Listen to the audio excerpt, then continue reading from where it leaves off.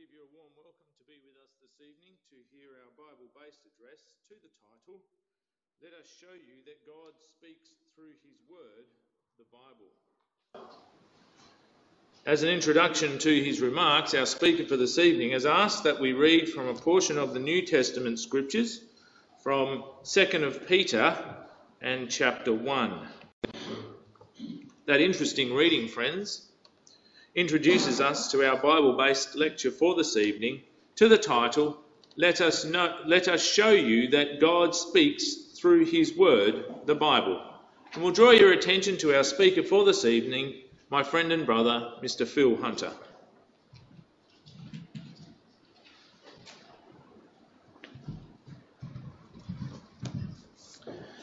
Well, thank you, Brother Chairman, and good evening, ladies and gentlemen. And we thank you for coming to hear what we have to say on this topic tonight. Because we believe that it is the Bible is the Word of God. And when we read the Bible with understanding, it is as if God is speaking to us.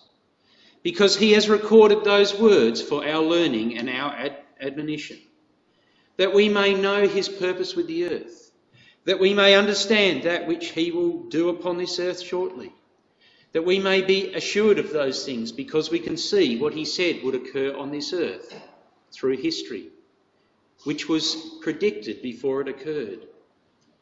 And if we're prepared to read this book, this collection of 66 books, we can find all there that we need to live a long and fulfilling life on this earth.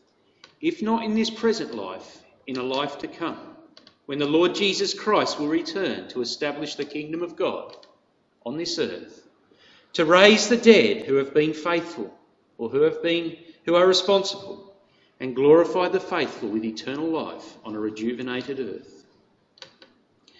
If we read the scriptures, if we read the Bible, we will see that God speaks to us of many things. His plan and purpose, as we said. He speaks of history, but at one stage, that was a prophecy. And it's the most accurate history book there is. It gives us prophecy. And it's the only book that can be relied upon to give a correct prediction of the future. A prediction that will be fulfilled to the letter. That has been fulfilled to the letter where it has, that prophecy has come to pass. And where it hasn't, we can be sure that it will in God's own time.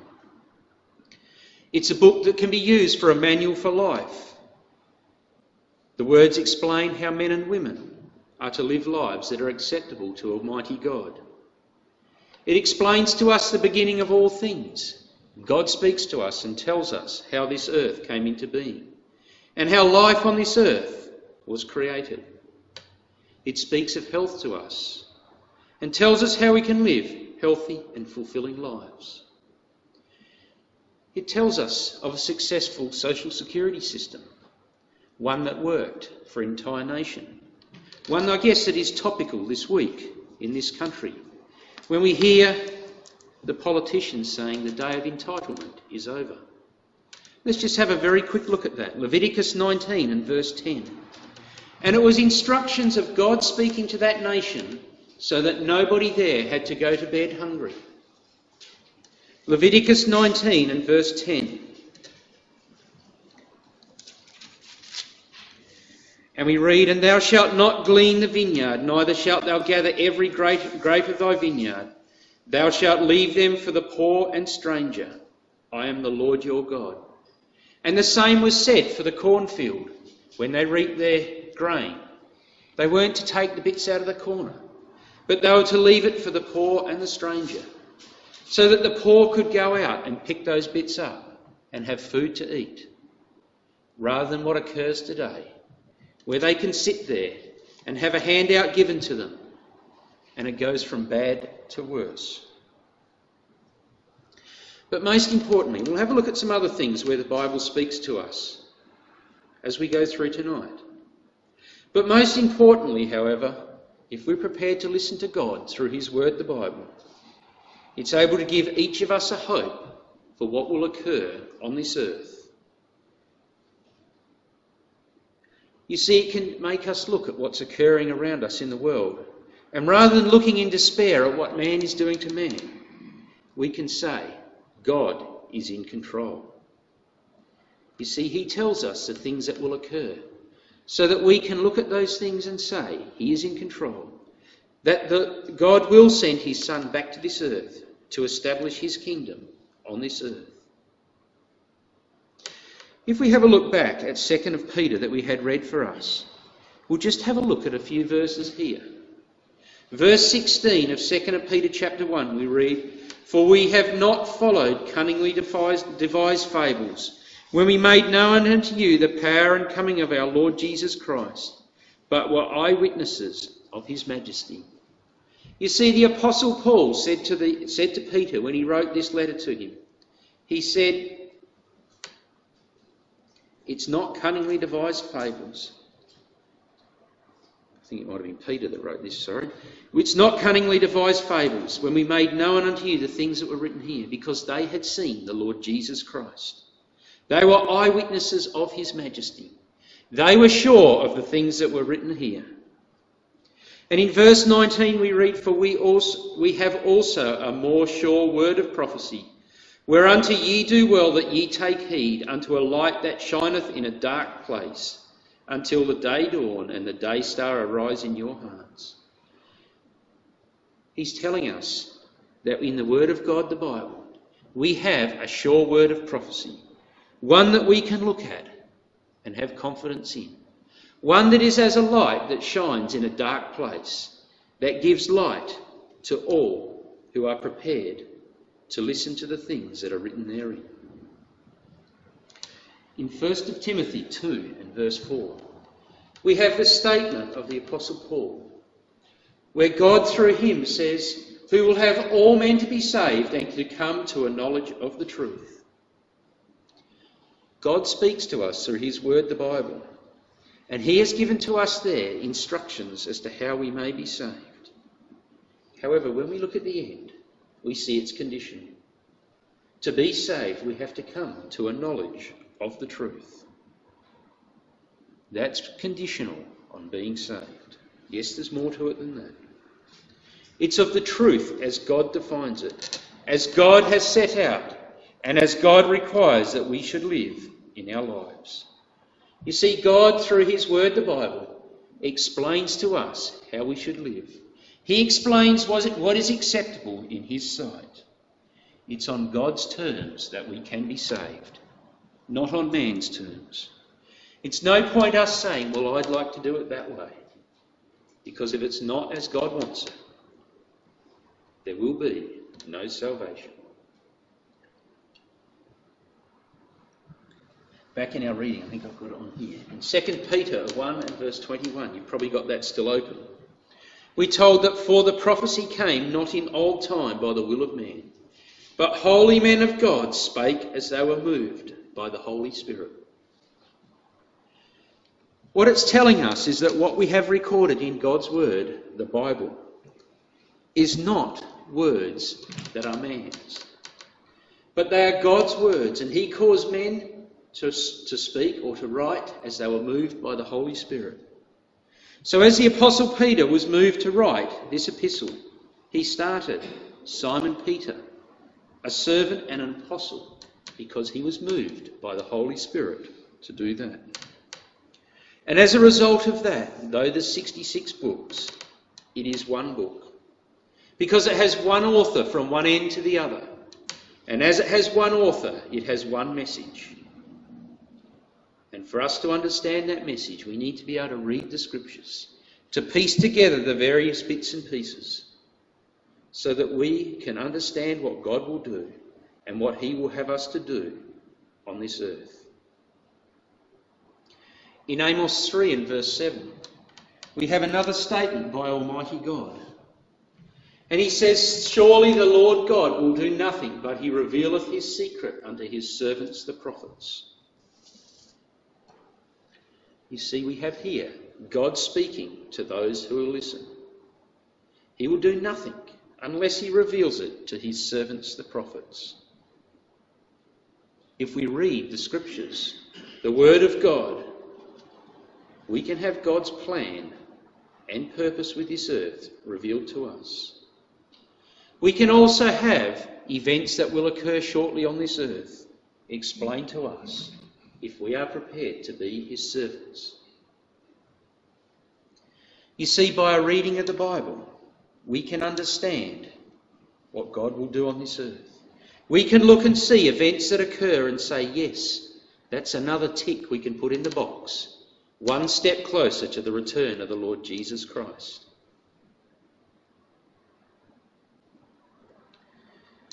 Well, let's consider a few other passages of Scripture where God has spoken through His Word, the Bible. Let's start with the natural creation around us, with the natural world as we see it everywhere that we look. And when we look at this, we can see God's work in all the earth. In fact, when we look at creation, we are without excuse for believing that there is a God. Because when we look at creation, we see the stamp of a master creator in all that we see. The Apostle Paul in Romans wrote this, and he says, For the invisible things of him which from the creation of the world are clearly seen, the trees, the animals, and so forth that we see, being understood by the things that are made, even his eternal power and Godhead, so that they are without excuse. And if we were to read right the way through Romans chapter 1, or this part of it here, we would see that what it's telling us is that when we look at creation, we can look and see what God has created, how He brought the earth together out of the chaos that it was to generate what is there. And we are without excuse for believing there is a God. Because in everything that is there, the stamp of that master creator is there. The problem is, though, that men look at those things and they turn their back on them. They look at nature and they try to concoct a story to take it away. And Scripture tells us that this is exactly what man was going to do. But it tells us also the results of what would happen when this occurred. And we see the proof of this in the world around us. In Romans 1, if you'll turn there please, we have this recorded as to what would occur. In Romans 1, verse, uh, commencing at verse 21, we read, Because that when they knew God, they glorified him not as God, neither were thankful, but became vain in their imaginations, and their foolish hearts were darkened. Professing themselves to be wise, they became fools, and changed the glory of the uncorruptible God into the image, an image made like to corruptible man and to birds and four footed beasts and creeping things. Wherefore God also gave them up to uncleanness through the lust of their own hearts, to dishonour their own bodies between themselves. You see, they went from the things of God. They went after every imagination of their heart. And God said, if that is what you want, that's what you can have. They changed in verse 25. They changed the truth of God into a lie and worshipped and served the creature more than the Creator, who is blessed for ever. And for this cause God gave them up unto vile affections. Even their own women did change the natural use into that which is against nature. And on it goes and shows what man has done when he's turned his back on God. And we see that in the world around us, don't we? Men don't want to know God. I heard it once in the lunchroom.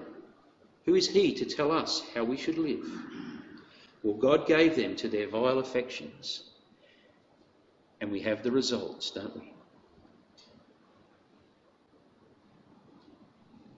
And as we read through the passage of Scripture, we see the outcome for man predicted as he turns from God. He turns from the Creator, and they don't want to know of Him. And today, in general, men are like that. They don't want to know it. And the results are exactly as listed in this passage. In verse 29, they're unrighteous. There's fornication, wickedness, covetousness, maliciousness, full of envy, murder, debate, deceit, malignity, whisperers, backbiters, haters of God, despiteful, proud, boasters, inventors of evil things, disobedient to parents, without uh, understanding, covenant breakers, without natural affection, implacable, unmerciful who knowing the judgment of God that they which commit such things are worthy of death, not only do the same, but have pleasure in them that do them. And doesn't that sum up the world today in which we live, who's turned their back on God? And what God tells us is that they are worthy of His judgment. They are worthy of death. Why? Because they've turned their back on them. But not only are they, but also those who have pleasure in them that do them. You see, men, rather than listening to the things of Almighty God and taking on the responsibilities this demands, they turn to their own ideology, don't we?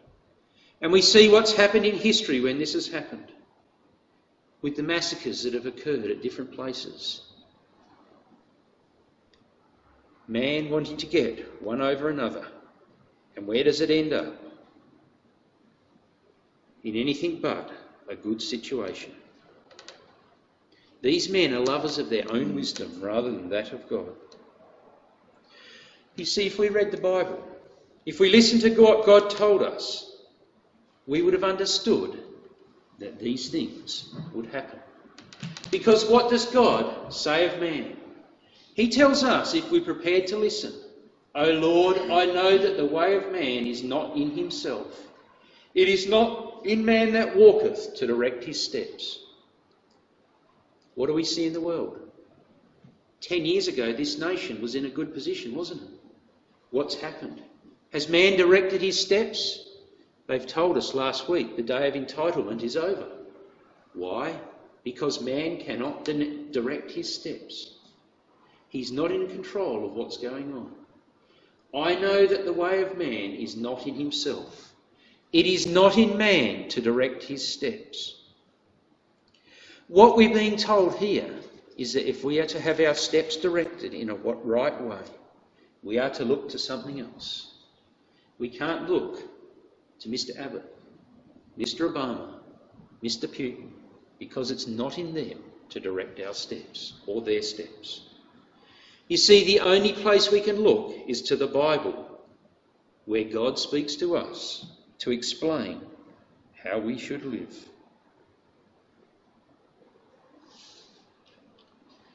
Well, what are the prophecies of the Bible? God speaks to us in prophecies in many places, doesn't He? There's hundreds, probably thousands of prophecies throughout Scripture that are recorded for those who are prepared to listen to what God has to say to us. They're recorded in Scriptures so that we will know what will come to pass on this earth. Because the ultimate fulfillment is when the Lord Jesus Christ will be in this earth, reigning over the kingdom of God and subduing the earth under him, so that the, at the end of a thousand year period he may hand that kingdom back to his Father, with all things, including sin and death, subdued. But you see, when we look at scriptures, when we look at prophecies, they're given there for a reason. They're given there so that we can look and see God speaking to us and understand what He will do. We can look and see what's occurring in the world and say, we don't need to worry about that because God ultimately is in control. Yes, because God's in control doesn't mean things that are not nice won't happen. Because God will still leave man to do as he pleases. We have Mr. Assad, don't we? Who's making a mess of his own country there. God could stop that. But God is letting man try and do his best. And eventually God will intervene. You see, the Lord Jesus Christ gave his disciples a prophecy. And in Luke 21 and verse 28, he said, When these things that I've told you begin to come to pass, look up and lift up your heads, for your redemption draweth nigh. And that is the purpose of prophecy, so that we can look at those things and understand what will occur on this earth. You see, the Lord Jesus Christ here spoke of a release or a deliverance from the bondage of sin and death. He spoke of that time spoken of in Revelation 21, a favourite quote of mine, where we're told that God at that time will wipe away all tears from their eyes. There'll be no more death, neither sorrow nor crying, neither shall there be any more pain, for the former things are passed away. If we're prepared to listen to what God tells us through the Bible, that lot can also be ours. Because ultimately, what God has said He will do with this earth is fill it with His glory. And we told in Habakkuk that He will fill it with His glory as completely as the waters cover the sea. It doesn't leave room for too much else. You see, God will fill it with those who are prepared to give Him glory and honour. Those who through their lifetime have endeavoured to do that which is right and proper in thy sight, who have endeavoured to give Him glory and honour. But you see, we're just not prepared. We, we're just not required to blindly believe that. To blindly believe that one day the earth will be filled with God's glory. We'll wake up in the morning and we'll be done. No, it won't be like that. God has given through Scripture, He tells us exactly what will occur. And in this way, through prophecy, God is telling us how He will shortly bring to pass His purpose with this earth. I want to just have a look at two very brief prophecies, or two prophecies. They're not necessarily brief, but two prophecies very briefly. To see how we can read the Bible and see these things coming to pass before our very eyes. To see the things that God has spoken to us if we're prepared to listen. And see that, yes, He is speaking to us today through His Word, the Bible.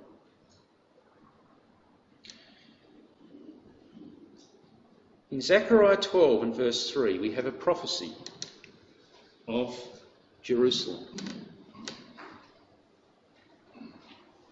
We all know about Jerusalem, don't we? Throughout Scripture, it's described as being a city of peace, but in history, it's been anything but. From the earliest time, there's been bloodshed in that, that city, and it continues today, don't we? We ask why. When of all cities, men would like to sort that one out. Let's have it as an international city, they say.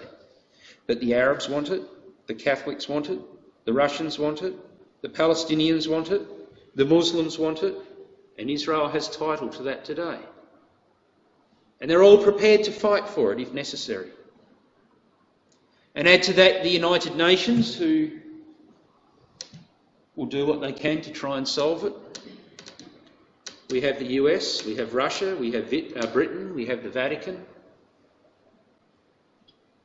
who all throw their 20 cents worth in from time to time to try and do something. And at the other end of it, we have a bigger mess. But what Scripture tells us is that all who trouble themselves with this city will end up in trouble. To them, it will be a burden, and it will be a burden that will lead them to the Battle of Armageddon. The prophet Zechariah predicted that this would be the case for Jerusalem. We're told that the city would be a burdensome stone for all who will burden themselves with it. 1967 and 1973, what happened? We had the Six Day War, the Yom Kippur War. The Russians backed the Arabs. America backed Israel, sort of. And the Arabs were beaten. It didn't solve the problem. And there's many more occurrences when we could look at that. There. Uh, what's happened to Jerusalem and see that it's just been an ongoing saga. But when we look in Zechariah 12 and verse 13, we see what God says about that city today. As men go about to do what they try to do there. He says, In that day I will make Jerusalem a burdensome stone for all people. All that burden themselves with it shall be cut in pieces, though all the people of the earth be gathered together against it. When we look at the scriptures, when we read passages like that and hear God speaking to us through his word, the Bible, we can look at what Mr. Obama is trying to do and see that it will fail. What it will be to him is a burden that will ultimately bring the world to Armageddon.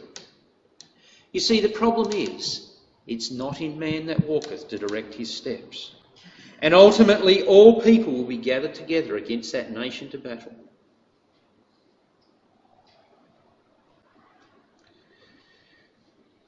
You see, we could look at this as a test for prophecy and see that the Bible has got it right.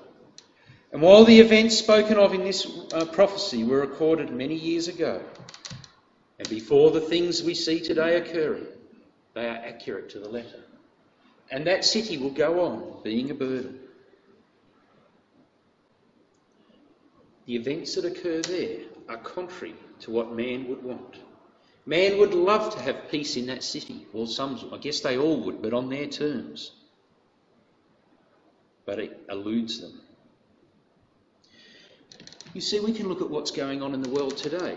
If you've been following it, Mr. Obama, um, his Secretary of State, is it? John Kerry, the Palestinian um, president, I forget his name, um, Mr. Netanyahu, and many others are involved in discussions to bring peace to the Middle East.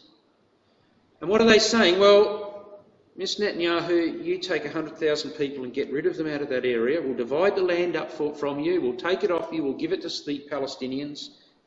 And you'll have peace. What does the scripture say about this? Well, have a look in Joel 3, verse 1 to 3. You see, if we're listening to what God is telling us in the scripture, we will look at those things and we will say, it's another step in the direction of the establishment of the kingdom of God on this earth.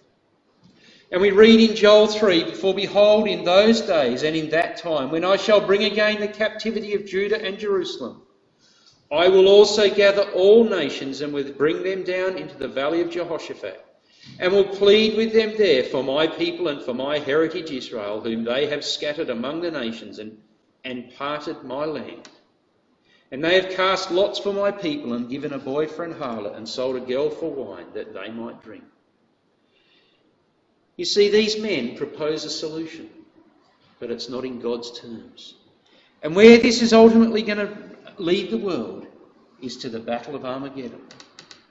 Because they have scattered God's people among the nations and parted his land.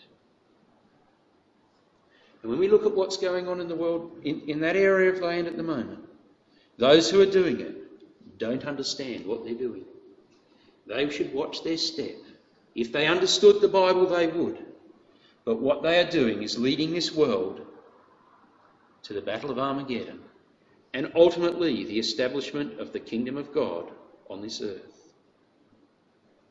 Let's have a look at another prophecy, another very small prophecy about the city of Damascus. We read the burden of Damascus. Behold, Damascus is taken away from being a city and is become a ruinous heap. When we look at Damascus, we see a city that I believe, or I'm told, has 4.8 million people in the greater Damascus area and its suburbs, or it did have. And the claim also is that Damascus is the longest continuously inhabited city on the earth. Yet what Scripture tells us is that Damascus will ultimately be taken away from being a city, and it will be a ruinous heap. Maybe, just maybe, we're seeing the start of that occurring before our eyes today. Mr. Assad, in what he's doing, yes, I think it'll take more than Mr. Assad to destroy the city as it's spoken of there. But we don't know where these things could lead, though we do know the ultimate outcome of it. You see, once again, the Word of God is spoken to us that we may be encouraged and have our faith developed in the things of Almighty God. God gives us a little prophecy here, another one there. And elsewhere, He tells us how we should live our lives so as to be obedient to Him. And these prophecies aim to increase our faith, to give us faith when we see these things occurring that yes, God is in control. That yes, God does still speak to us today through His Word, the Bible.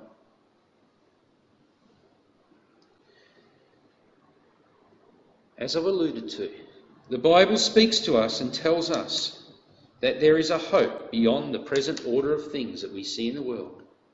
A hope of being raised from the dead to inherit the kingdom of God on this earth, or to be with Christ when he does return if we have been faithful to the calling that God gives us through His Word, the Bible.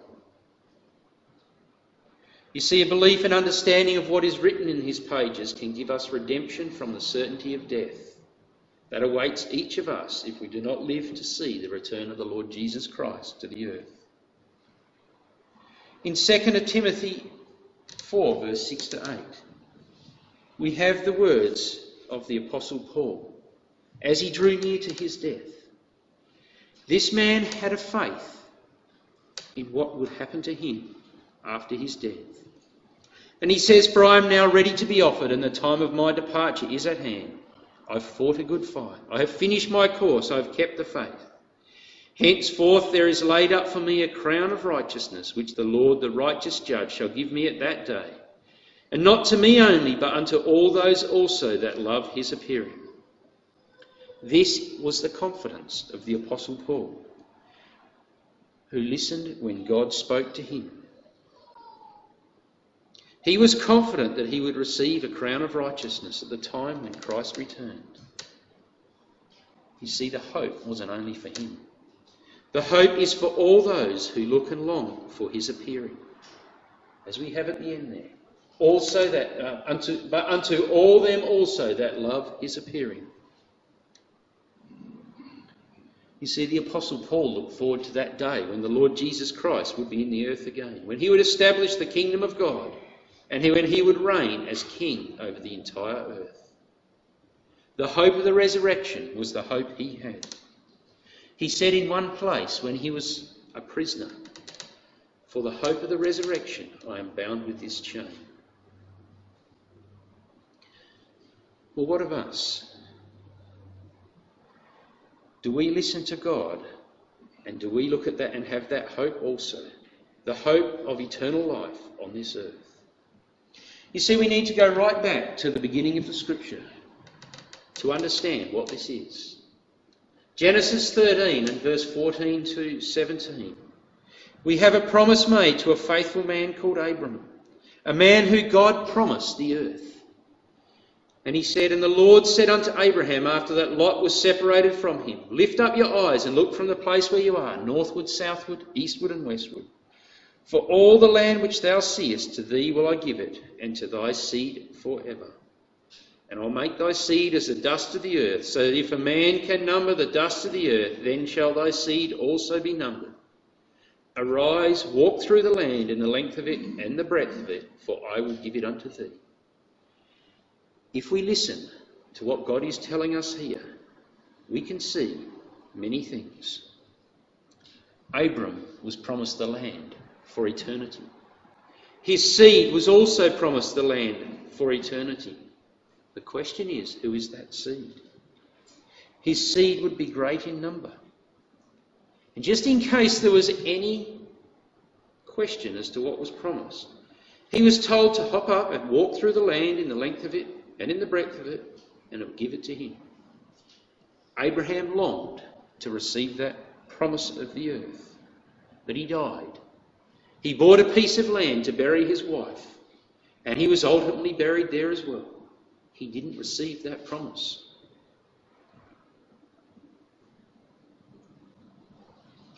If we go to the New Testament, to Galatians 3, we can see where this promise is extended.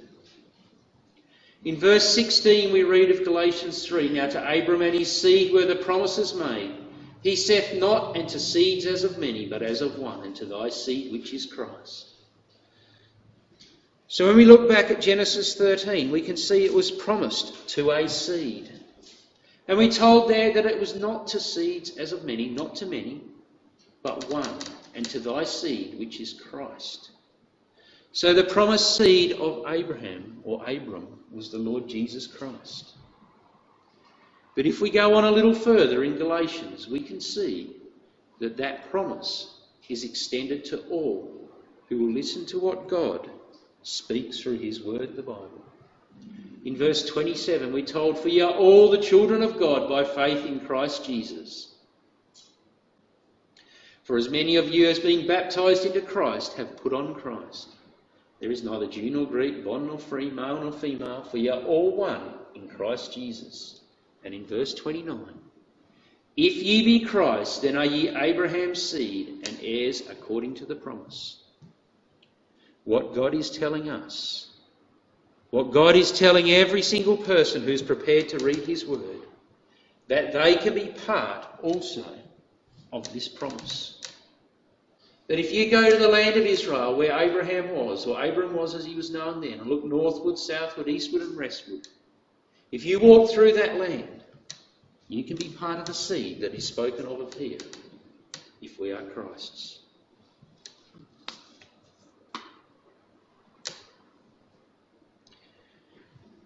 The hope of the Bible is the resurrection from the dead to inherit the earth forever. The Lord Jesus Christ, when he spoke to the Sadducees in Luke 20, spoke of the resurrection of the dead.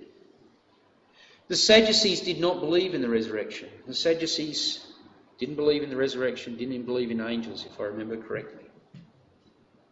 They were there to get out of it what they could get today, like most people in the world around us. They'll live their years on this earth and die. They'll get out of it what they can, and that will be them. You see, the Lord Jesus Christ, in answer to a question where the Sadducees had come to him to trip him up, he answered and said unto them, The children of the world marry and are given in marriage.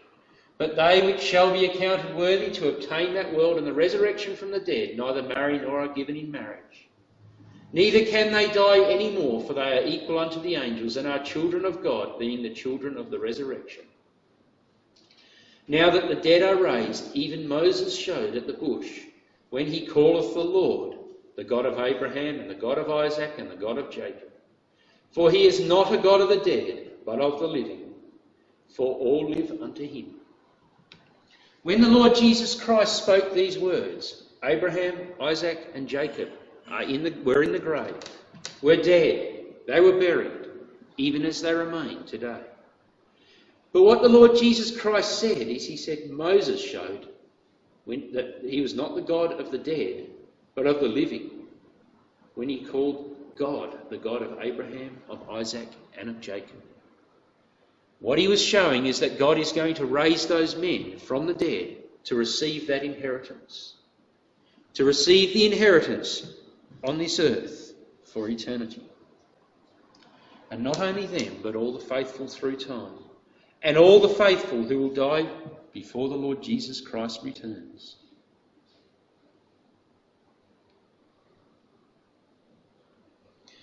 Let's turn over to 1 Corinthians chapter 15 and verse 20 to 28. And we'll have a quick look at the process of this resurrection. 1 Corinthians 15 and verse 20 to 28.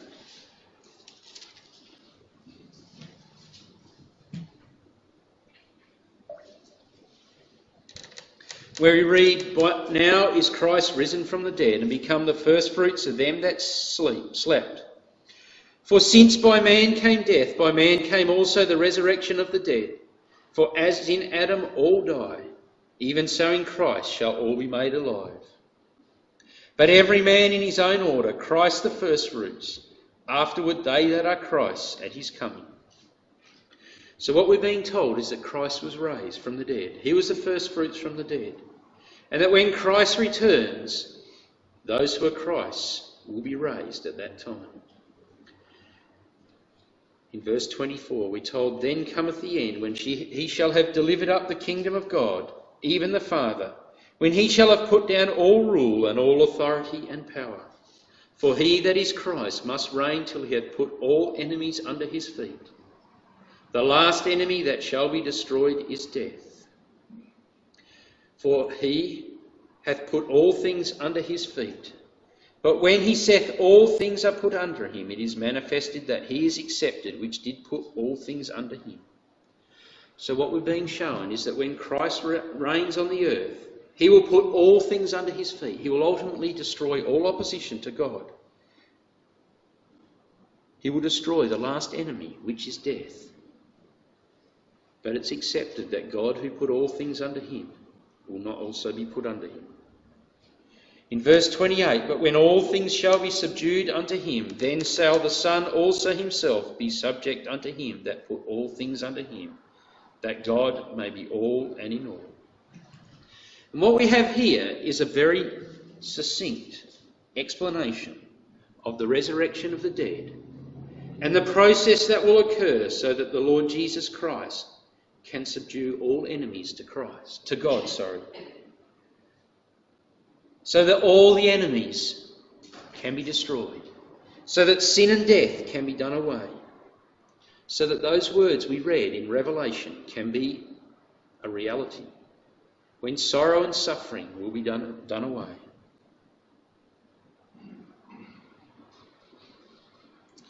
Well, who then will be Christ at his coming?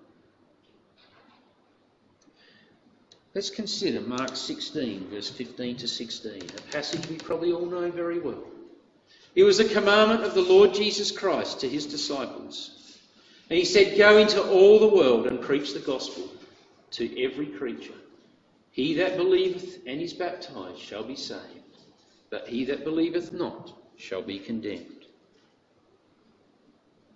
What the Lord Jesus Christ told his disciples to do was to preach the gospel to those who would listen.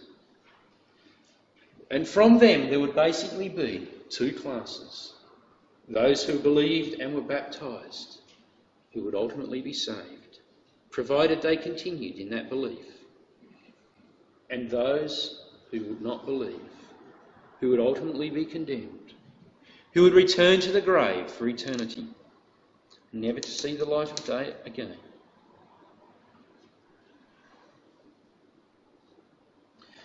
Let's turn back to our reading tonight in 1 Peter chapter 1 and verses 19 to 20. And we read there, as we read before, 1 Peter 1, verses 19 to uh, 21. Sorry, it wasn't our reading, it was 2 Peter, wasn't it? Sorry, it should be 2 Peter 1. Okay. We read, We have also a more sure word of prophecy, whereunto we do well that ye take heed, unto a light that shineth in a dark place, until the day dawn and the day star arise in your heart. Knowing this first, that no prophecy of the Scripture is of any private interpretation. For the prophecy came not in old time by the will of man, but holy men of God spake as they were moved by the Holy Spirit. What we have here is a challenge for every one of us. We're told that the prophecy or the words of the Bible are not of any private interpretation. Everybody can understand them if they're prepared to put time in to listen to what God tells us through His Word. It's not something that came by the will of man. It's like a light that shines in a dark place it shines forth and gives light to those who will hear. In the Psalms, it's spoken of as being a light unto our feet and a lamp unto our path. It's spoken of as being that which can guide us in, the, in our lives today, in those ways that are acceptable unto Almighty God. It's full of very plain prophecies, things that every one of us can understand. And it's a word that you and I would do well to take heed of. You see, the challenge for every one of us is to go home, to search the scriptures, to confirm what is in there. Because it's not of private interpretation. Because if we are to be saved, we need to believe. If we are to believe, we need to understand. And if we are to understand, we need to read. We need to read and listen to what God is telling us through His word of truth, the Bible. If we're not prepared to do that, the words at the end there are for us. We will be condemned rather than saved. Ladies and gentlemen, we urge you to look at the things of the Scripture, to understand them, to understand those things that are written therein for your own benefit. Because in them and then, them alone are the words of God which He speaks to us that we may have life when His Son, the Lord Jesus Christ, returns to this earth. We thank you for your time.